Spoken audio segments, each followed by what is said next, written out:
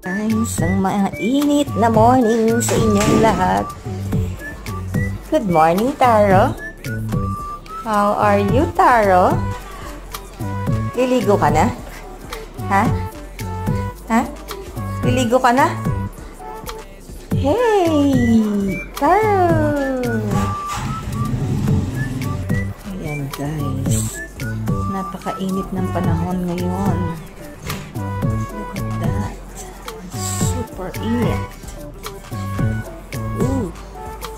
My gosh.